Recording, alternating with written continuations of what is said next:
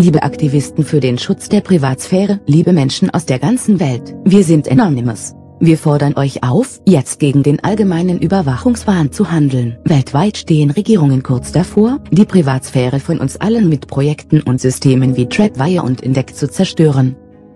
Diese vernetzten Überwachungstechnologien durchschnüffeln Überwachungskameras, Datenbanken der Regierung und das Internet, um Menschen zu identifizieren und Profile über die Bürger anzulegen, in denen alles über sie steht, über ihre Familie, ihre sozialen Kontakte, derartige Systeme zu unserem eigenen Schutz gegen den Terror zu entwerfen. Doch die Wahrheit ist, dass sie bereits an solchen Überwachungssystemen gearbeitet haben, noch bevor die ersten Terroristen zugeschlagen haben. Es ist Zeit zu handeln, den Regierungen der Welt zu zeigen, als Menschheit geeint zusammenzustehen und zu zeigen, was uns Freiheit wirklich bedeutet. Wir fordern Aktivisten rund um den Globus, von Nord- und Südamerika über Asien, Australien und Ozeanien, vom arabischen Frühling und aus der EU, Teil des Protestes gegen den Überwachungswahn der Systeme zu werden. Handelt jetzt und verbreitet unsere Botschaft in eurer Muttersprache.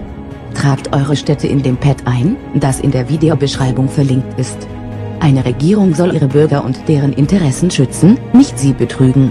Es ist unsere Freiheit und unsere Privatsphäre. Lasst uns als Menschen alle gemeinsam zusammenstehen. Lasst dies die größten Proteste in der Weltgeschichte werden. Lasst den 20. Oktober 2012 ein Tag werden, der uns immer in Erinnerung bleibt. Vereint werden wir bestehen, getrennt werden wir fallen. Wir sind die Bewohner der Erde, wir sind das einzige System. We are anonymous. We are legion. We do not forgive. We do not forget. Expect us.